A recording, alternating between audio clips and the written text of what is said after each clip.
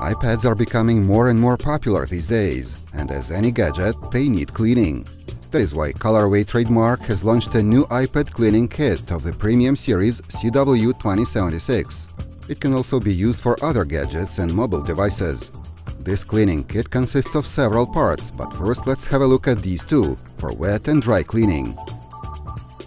Take this plastic bottle and gently spray the liquid on the screen of your iPad.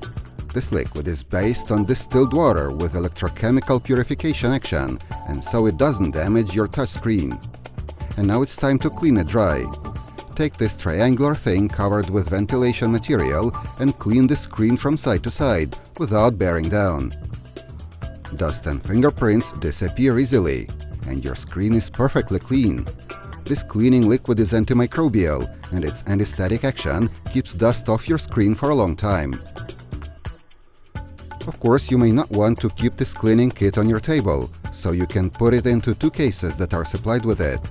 The smaller one has a clip and it can be easily placed in your bag.